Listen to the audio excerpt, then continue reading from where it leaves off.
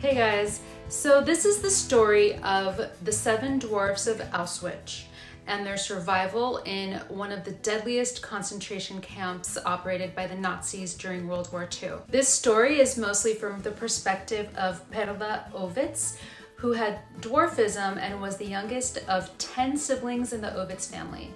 The family consisted of seven dwarf siblings and three average height siblings who in the 1940s were transferred from their small Romanian village to Auschwitz during the Nazi occupation throughout Europe. Miraculously, they all survived almost an entire year of hell at this death camp. But before we talk about Perla, we need to talk about her father, Shimshon Isaac. Shimshon Isaac was born in 1868 in Romania to a young couple. He was the third child of Freda and Leib Ovitz, and he shocked his parents when it was discovered that little Shimshon Isaac had dwarfism. He had pseudoachondroplasia, which is a type of dwarfism where the extremities or the arms and legs are disproportionately shorter than the rest of the body, among other physical features. Freda and Leib did not understand how this could be, how they, two average height people with no history of dwarfism in their family, could give birth to a dwarf. It was not known then, like it is known now, that for average height couples, dwarfism is the result of a spontaneous gene mutation. Freda and Leib took their son, Shimshon Isaac, to various doctors, medicine men, and although they tried all sorts of medicines and potions and magic spells, nothing worked. In adulthood, Shimshon Isaac would grow to be no taller than a five-year-old average height boy. Shimshon Isaac's parents knew that their son would have struggles in life due to his short stature. So they decided very early on that if he was going to stop growing, they were going to nurture his mind and make his brain his biggest weapon. They knew that he would not be able to survive if he had to do harsh labor on the family farm, so they put him on a path of academic excellence. Freda and Leib worked really hard to get Shimshon Isaac the best education and the best tutors that they could afford. And it worked. Shimshon Isaac Ovitz grew up to have a reputation of not only being incredibly intelligent and self-confident, but also very charming and very lively. When he was 19 years old, Shimshon Isaac decided he wanted to get married. Okay, so now because he was very well educated and he was also very well versed in his religious studies, which was something that was highly valued, Shimshon Isaac's short stature could be overlooked when selecting a bride. So he married 18-year-old Brana Gold in an arranged marriage. Shimshon Isaac and Brana would go on to have two children born in 1886 and 1889, both girls, Rosica and Francisca, who inherited their father's dwarfism. So now Shimshon Isaac is married and he decides to drop his religious studies and he seeks to become a badchan or a merrymaker. He was basically the master of ceremonies during special occasions such as weddings. As a Badchan, Shimshon Isaac was in charge of being the life of the party, of entertaining guests. He had to be charming, funny, quick-witted, knowledgeable. Before the event, he would actually do research on the family that hired him so that he could write songs about them or use that information in conversations or make them laugh with inside jokes. Shimshon Isaac had the ability to evoke such strong emotions in the guests that he would have them weeping one minute and roaring with laughter the next minute. He was able to walk into a room with strangers and entertain the crowd very easily. He was so skilled at what he did, he became well known for his entertainment services, and people would actually book Shimshon Isaac months in advance. His role eventually evolved to also becoming a consultant to businessmen on investment opportunities. Unfortunately, in 1901, Shimshon Isaac's wife, Brana, died of tuberculosis at the age of 33, leaving behind her beloved husband and two young teenage daughters, Rosica and Francisca. Because Shimshon Isaac had such a good reputation and was wealthy and very religious, he was able to remarry a healthy 18 year old named Batia, almost half his age, and together they had eight children, five of whom were dwarfs. With the two girls from Shimshon Isaac's first marriage, there were a total of seven dwarf siblings in the family. First came Avram, a dwarf son in 1903, then Freda, a dwarf daughter in 1905, then Sarah, who was average height in 1907, Mickey, a dwarf son in 1909, Leah, who was average height, was born in 1911, then Elizabeth, a dwarf in 1914, Ari was born average height in 1917, and then the youngest was Piroska or Perla, the nickname she went by, a dwarf born in 1921. In 1923, when young Perla was just 18 months old, Shimshon Isaac Ovitz, their father, died of food poisoning from fish he ate at a wedding. He was 57 years old. Perla Ovitz's entry into this world was a harsh one. Her umbilical cord was actually wrapped around her neck. And the midwife took one look at her lifeless body and set her aside to allow her to die. Batia was exhausted after having given birth, but she asked to see the baby. The midwife grimly told Batia, Let the baby rest in peace. Batia, as exhausted as she was, she sat up on her bed and demandingly said, Bring the baby to me now. The midwife obliged, and Batia noticed that little Perla's jaw was actually locked shut. So she forced her index finger into the baby's mouth, cranked it open, and the baby began to cough. Perla survived, and when she was older, she jokingly attributed her large mouth to her mother's actions that day. Avram, the oldest son, stepped up as the man of the house after their father's death. Perla looked up to Avram, and when she was young, she actually thought that Avram was her father. She called him Papa, and none of the other siblings ever corrected her. It wasn't until one day when Perla was at a friend's house and Perla was telling her friend how generous her papa was and what a great person he was. The friend's mother actually overheard Perla referring to Avram as her papa, and the mother confronted Perla and said, He is not your papa, he is your brother. Perla very confidently responded with, Oh, yes, he is my papa. He gives me all my things Everyone has a papa, and so do I. The mother of the friend wouldn't let it go and said, Perla, he is your brother. Your real papa is dead. Perla ran home crying to her sisters. She was very angry and she said, How could that woman lie about Avram not being my papa? And the sisters just held her and tried to console her. And that's when Perla came to the realization that what her friend's mother was saying was true. And it took her actually biting her lip from then on to keep her from referring to her brother Avram as her papa. The Ovitzes lived in a house on the main street in the village of Rozavlea. Because there were more dwarfs in the family than average height family members, Shimshon Isaac had custom built parts of the home and furnished it to fit the needs of the little people in the family.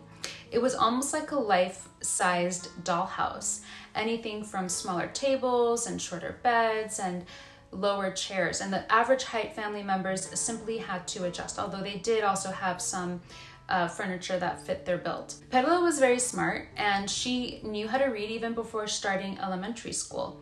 She would walk to school, which was just a few doors down from where she lived. But classmates and teachers would see her walking and they would pick her up as if she was a doll without asking her because she was so tiny and they just liked the idea of holding a living doll. Perla really enjoyed their company, so she never protested. Perla was a very good student. She was very dedicated to her studies, and she was actually allowed to skip PE or physical education since she could easily be knocked over by the other children. And so during that time, she would work on her homework. The other children would copy her homework later. Perla was actually never mocked at school for being little. The other children needed her to succeed in their studies, so they all respected her. Perla never felt upset about her dwarfism and she never felt like she didn't belong. There is safety in numbers. She was the youngest in the family of seven dwarf siblings, and being around her other dwarf siblings really helped her to realize that she just would never grow tall. So she had no reason to feel insecure about her stature, even though everyone else in the town was average height. Perla said that she never had dreams of her arms and legs being stretched out by a magical fairy to double her height. She just simply accepted the fact that she was a dwarf. And she never saw her dwarfism as a punishment. She always felt like their lives as, as dwarves was as worthy as anyone else's. Later in life, she would explain that she accepted the word dwarf, but she would never use the word dwarf to describe herself. Instead, she would use the word big people to describe average height people. One characteristic about the Ovitz family was that they were always very well dressed. Even though they were just three feet tall, they wore outfits that were age appropriate. Their clothes had to be tailored and their shoes had to be custom made since their feet were so wide. The women always had their nails polished and their hair was always nicely done. In her older years, Perla would say, as long as you breathe, you should look your best. The Ovitz children were all musically talented. Perla would sing cultural songs that her sisters taught her all day long. She would sing throughout the house from dawn until dusk. Unfortunately, in 1930, Batia, their mother, died of tuberculosis. Perla was nine years old and she just wondered one day why her siblings were all wearing black and sobbing.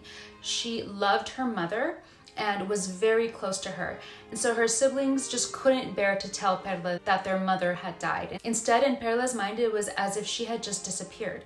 Perla asked for mother and the siblings would just brush her off. So she went on an eating strike and adamantly said she would not eat until she could be united with mother. And the siblings had to actually hold her down and forcefully shove food down Perla's throat. And it wasn't until one day when she overheard her siblings saying, if she continues on this hunger strike, she will end up with mother. Perla shouted, yes, take me to where she is now. But when the siblings began sobbing, Perla finally understood that their mother was gone. On her deathbed, Perla's mother, Batia, had passed on words of wisdom that were grimly foreshadowing of very daunting events to come. She advised her children to always stick together. No matter what, never separate. Find a trade that allows you to work together. Little did they know that this advice was their key to survival in very dark years to come. The siblings obeyed their mother's wishes and stuck together. Even when they married, their significant others lived with them in the family home in the small Romanian village of Rozavlea. Sometimes it worked out, and other times the significant other just couldn't handle the lifestyle of living with so many other extended family members, and the marriage would end in divorce. It was just one of the siblings, Ari, that didn't stay in the family home and left to start a family in another village. Following in their father's footsteps as entertainers, the seven dwarfs formed a band called the Lilliput Troupe. They purchased child sized instruments or had them custom made to fit their size.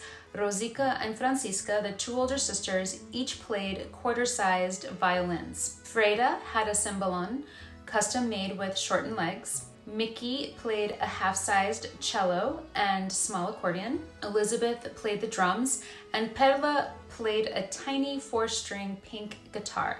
Avram, the oldest, was the only one without an instrument, and instead he sang and he acted, and he was the MC, or the masters of ceremonies. The other average height siblings were involved as well behind the scenes and would help with costumes and other logistics. The Lilliput troupe was always very elegantly dressed. The women wore beautiful evening gowns and the men wore white jackets with bow ties. And they performed for two hours, during which they sang love ballads and local hit music and different genres to entertain a variety of audiences. They sang in five different languages and they could speak fluently in Hungarian, Romanian, German, and Yiddish. In between songs, they entertained their audience with jokes and stand up scenes that kept their audiences roaring with laughter. A childhood friend later recalled that the postal manager of the village, a very respectable and well educated man, during one of the shows, shouted out the name of a Russian song. And when Perla sang it ad hoc, the man had tears streaming down his face. The Ovitzes had this ability to evoke strong emotion through their music.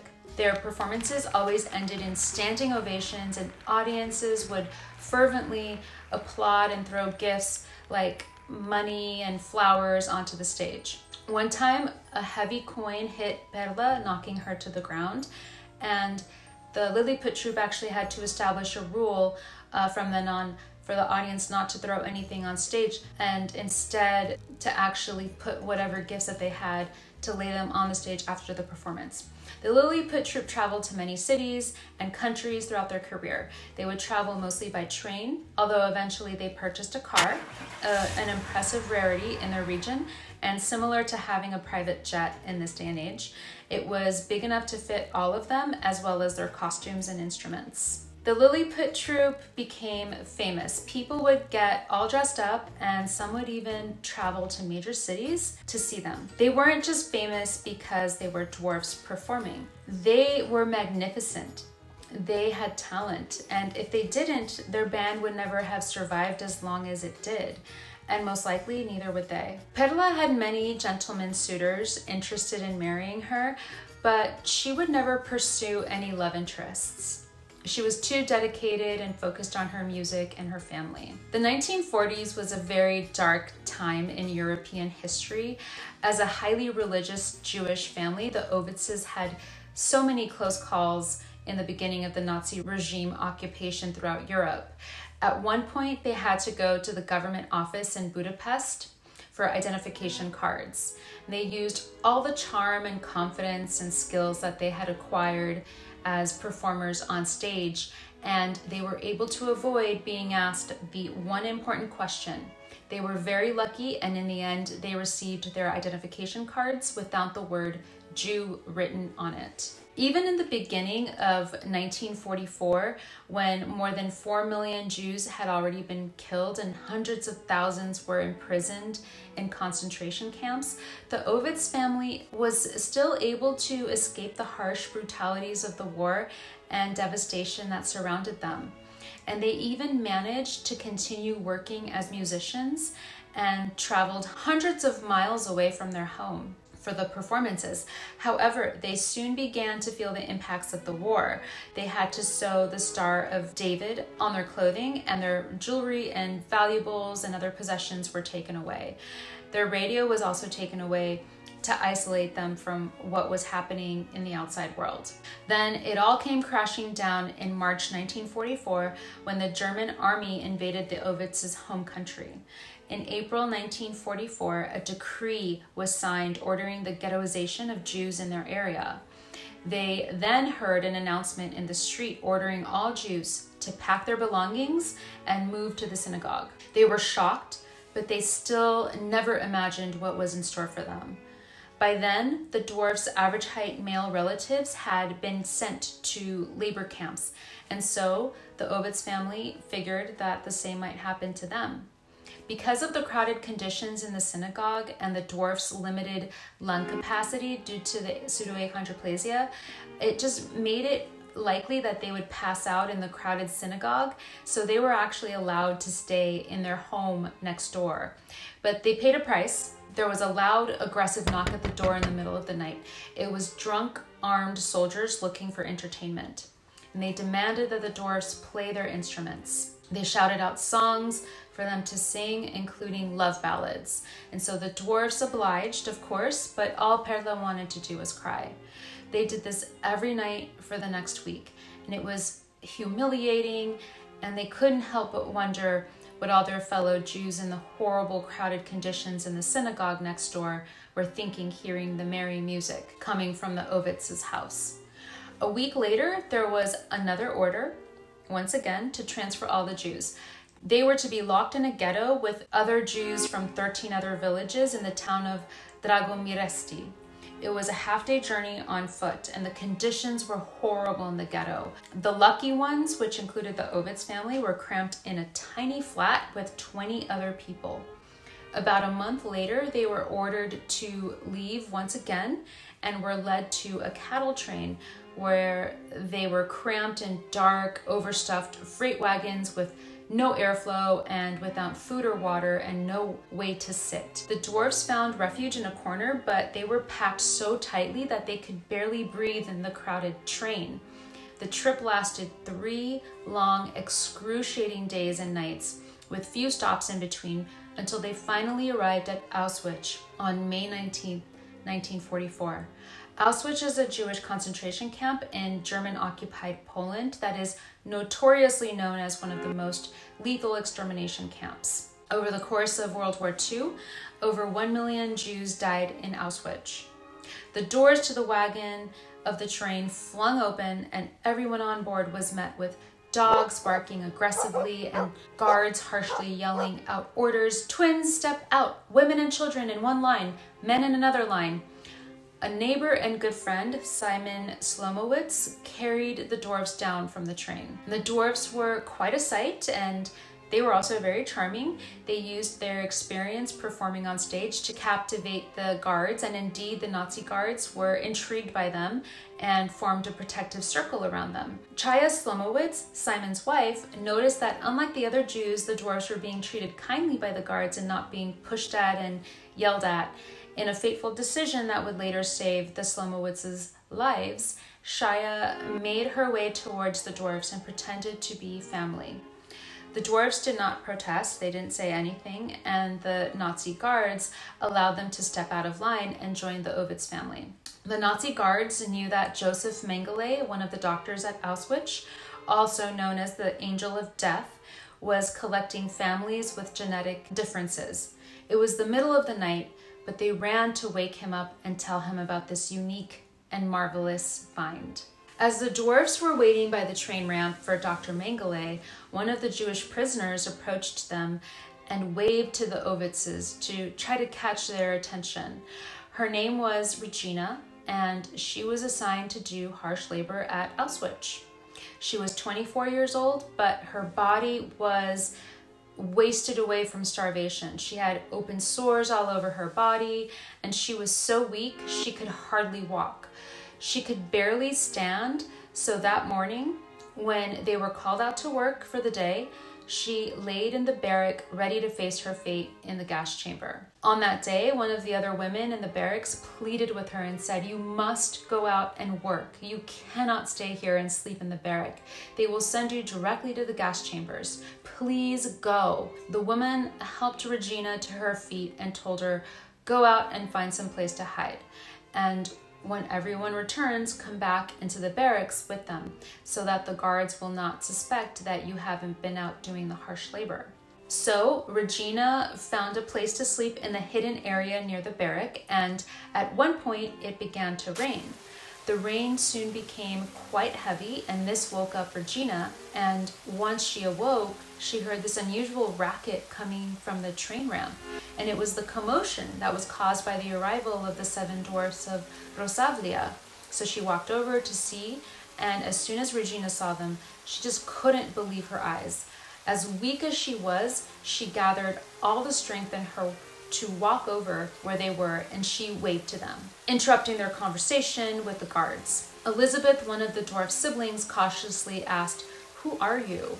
Regina was unrecognizable from her previous life. Regina told Elizabeth her nickname, and just as she was explaining who she was, one of the guards hit Regina with his gun, knocking her to the ground. Elizabeth whispered something to the guards, and later Regina was summoned over to Dr. Mengele's clinic where she was reunited with the dwarfs, which were her family. It turned out Regina was the dwarfs' cousin. Although Regina's family had all been killed at Auschwitz, she was shocked when she awoke that evening and turned the corner to see her seven dwarf relatives. In years to follow after the war ended, Regina would cry with intense gratitude whenever it rained heavily because the rain brought the memory of that fateful day at Auschwitz. Had it not been for the rain, she would never have woken up and been lured by the commotion, and she would never have made that connection to her dwarf family that ultimately saved her life. While the dwarfs were standing on the train ramp, they watched as rows and rows of Jews walked towards the building with the chimney stacks that continuously poured out flames and smoke. Perla asked, What is that smoke all about? One of the Jewish prisoners, wearing a striped garment that had been in the concentration camp for some time and was reduced to skin and bones, replied, Don't you know where you are? You are in Auschwitz, a death camp, and eventually you too will end up in the oven. Suddenly, Perla couldn't help but see each flame from the stack as ghostly human figures flying up and dissolving into the air. Josef Mengele was a doctor in the Nazi concentration camp. He was licensed to practice medicine. Dr. Mengele was fascinated by the genetics of dominant abnormalities. In 1937, Dr. Mengele joined the Nazi Party, and a year later, he joined the Schutzstaffel, or SS. The SS was a military organization under the Nazi regime. In 1943, Dr. Mengele applied for and obtained a position at Auschwitz-Birkenau also known as Auschwitz II, where he would have an endless supply of human species to conduct his research on. Dr. Mengele was one of the doctors in charge of standing just outside the train ramp and just with a flick of his finger, he would decide who would go to their immediate death and who would be assigned to harsh labor and or be subjected to human experimentation. Hence the nickname Angel of Death. Dr. Mengele was interested in twins, but he was also collecting what he considered to be striking human mutations. He also had been advised by his mentor that researching whole families was ideal for comprehensively studying genetic mutations. So, when the dwarfs arrived, and there were seven of them, and they were all related, Dr. Mengele felt like he had hit the ultimate genetic jackpot and he protected them from being gassed to death. Had the dwarves arrived separately at Auschwitz, they probably would have been sent directly to the gas chambers upon arrival. Being in a large group saved them from being killed, but they were soon to be the subject of extremely ruthful and painful human experiments. They were imprisoned at Auschwitz but for the human experimentations, they were picked up by military vehicle and transported to Birkenau or Auschwitz II. At that time, there were laws that were prohibiting what you could do to laboratory animals, but there were no restrictions on what could be done to humans in the death camps. Thousands of young prisoners suffered radiation, repeated injections with various chemical substances, surgeries without anesthesia, and castrations. They were forced to have intercourse with other inmates to contract syphilis. Those who did not die in the name of Nazi science often ended up gruesomely maimed. Orders for blood draws for the Ovitz family occurred every few days. These blood draws were excruciatingly painful. The staff that carried out the blood draws were prisoners as well, but they showed no mercy as they carelessly stabbed the patients and blood splattered everywhere. The dwarfs would often faint, but once they were revived, they would have to continue the blood draws.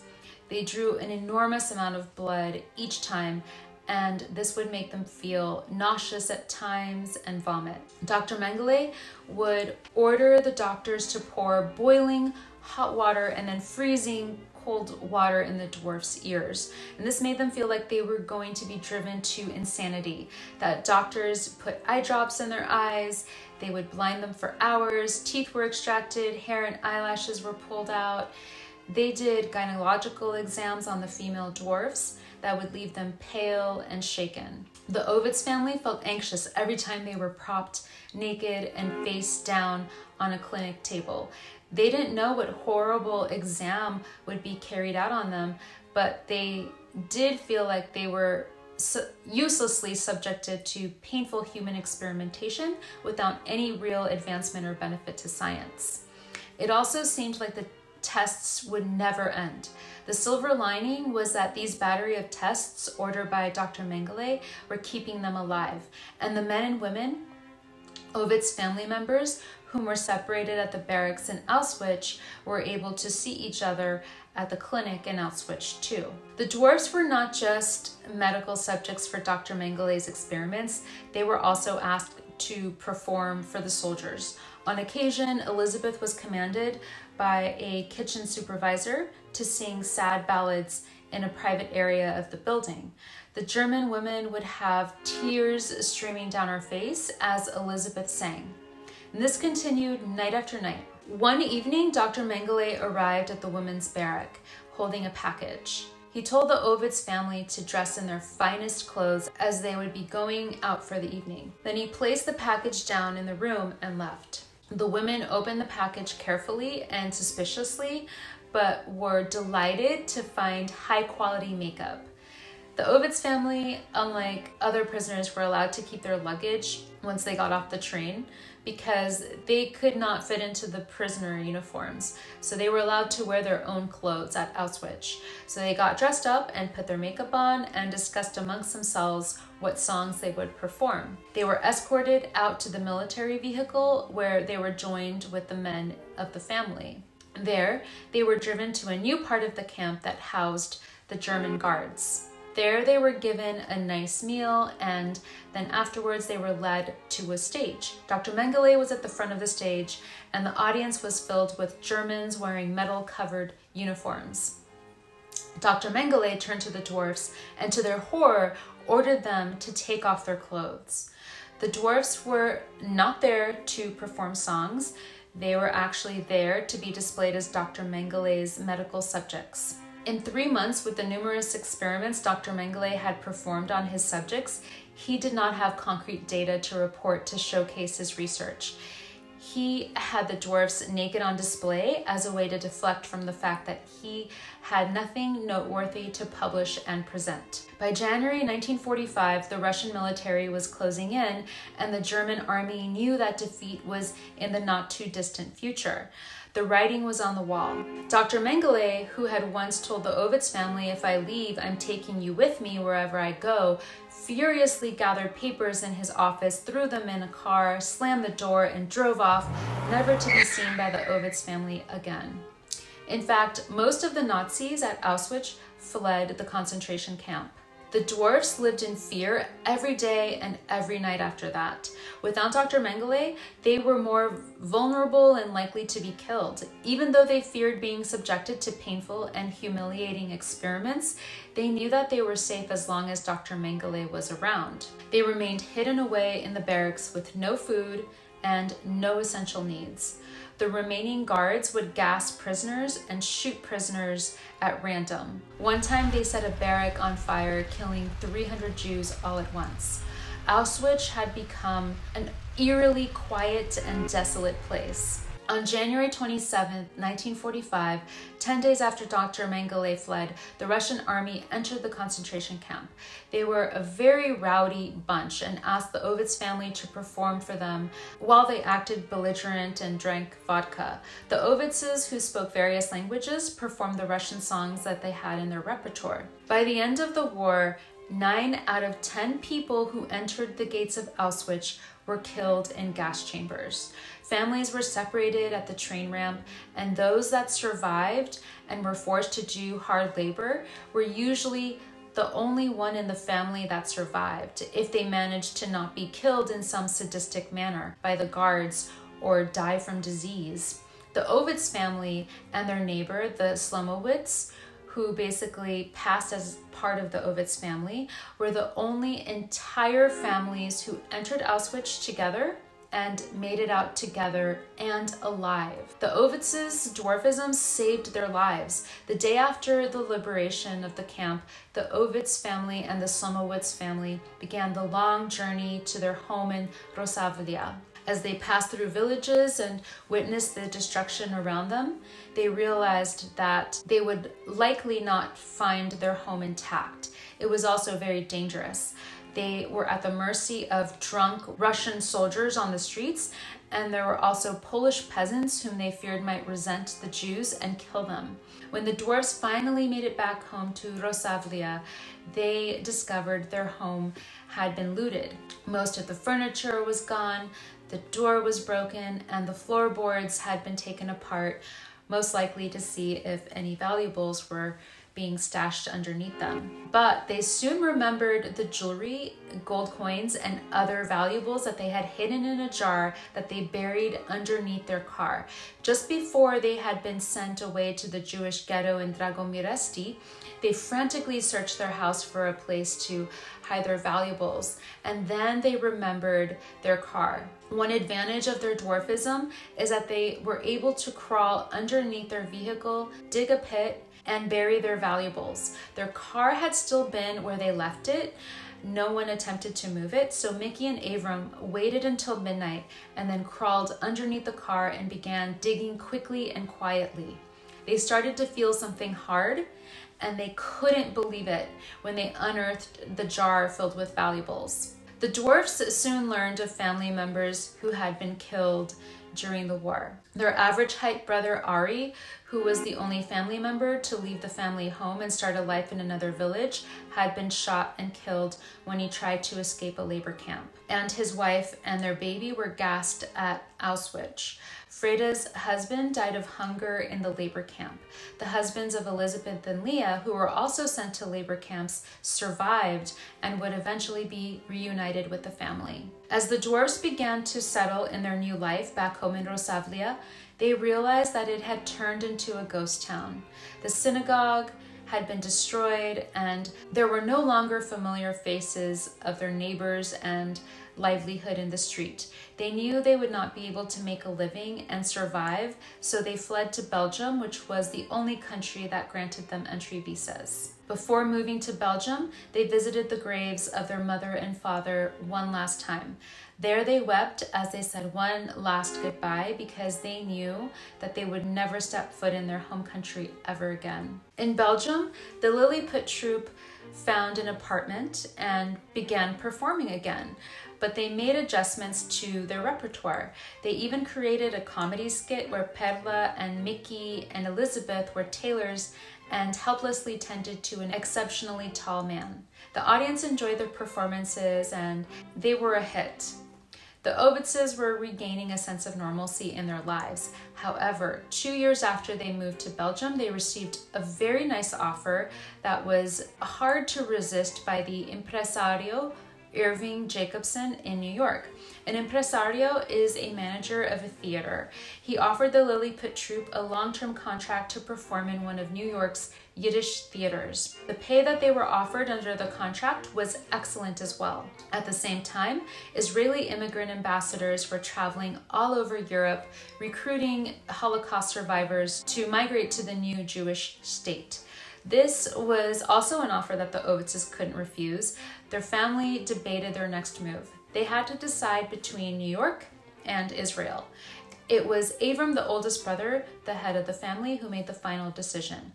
So on May 4th, 1949, the Lilliput troupe, along with 2,000 other passengers, set sail aboard the Independence. They celebrated Israel's first Independence Day in the middle of the Mediterranean. When the Ovitzes disembarked the ship in Israel, many people stared at the unusual sight of seven dwarfs carefully making their way down the ramp. Someone addressed the crowd saying, They're human beings like us, only small. Of all people, Jews should not be prejudiced. Perla stepped out and stated, Millions of people have been watching us throughout our entire lives.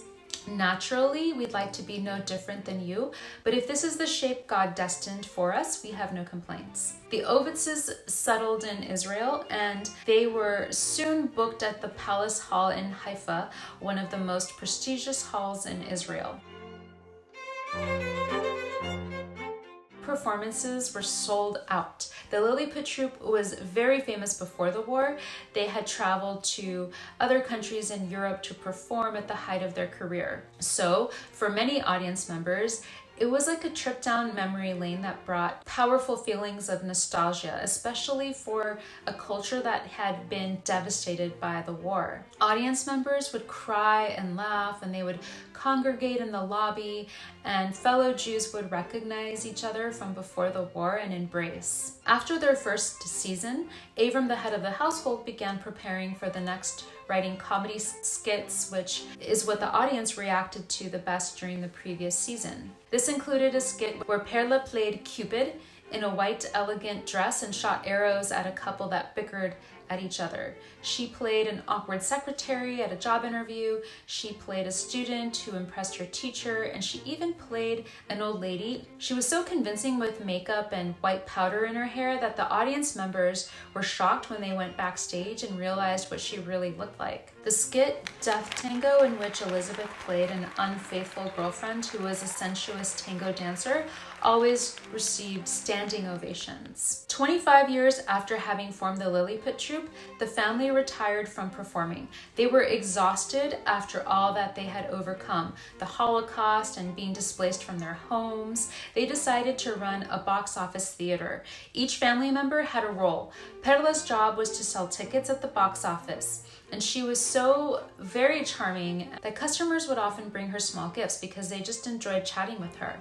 At 35 years old, Perla got engaged to a man named Jonel, who won her over. However, about two weeks before their wedding, Perla heard that Jonel had been boasting that the property and businesses owned by the dwarfs would soon be his. Perla called off the wedding. The family went through many changes in the coming years. There were marriages, divorces, and grandchildren were born. In 1972, the family was devastated when brother Mickey died of a heart attack at the age of 63.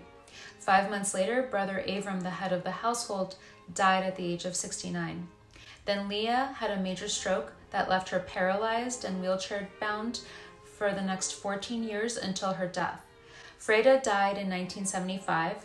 In 1979, the remaining siblings sold the cinema and moved into a large flat. Francisca died in 1980 at age 91. Rosica died in 1984 at age 98. In 1992, Elizabeth passed away, and in 1993, Sarah passed away. Perla was 72 years old when she found herself alone for the first time in her life. She was the only surviving sibling. All on her own, Perla spent her days alone in her flat and she tried to be as independent as possible.